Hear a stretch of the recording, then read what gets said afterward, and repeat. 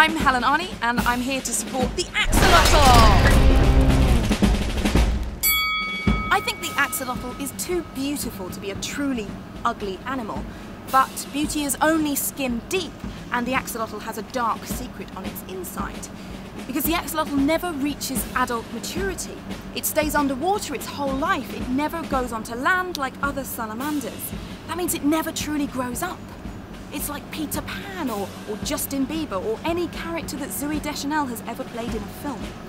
But that's what gives them an incredible superpower. They can regenerate any of their limbs. If an axolotl loses an arm, it can grow it back. If its skull gets crushed, it can recreate it perfectly, and that is why scientists are so interested in them. If we keep the axolotls, we may find out clues about how humans can grow new limbs, how we can prevent aging. We may even find clues about how cancer works. If that hasn't convinced you, Simon has a whole lot more facts. Axolotls only live in a small cluster of lakes in Mexico, which are now becoming dangerously polluted. In the wild, they are critically endangered, but they probably aren't going to go completely extinct because there's so many of them cooped up in science labs all over the world.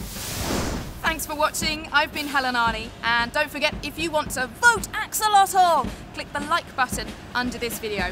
But let's keep it a fair fight. Watch all of the other ugly animal videos here. But remember, Axolotl is number one.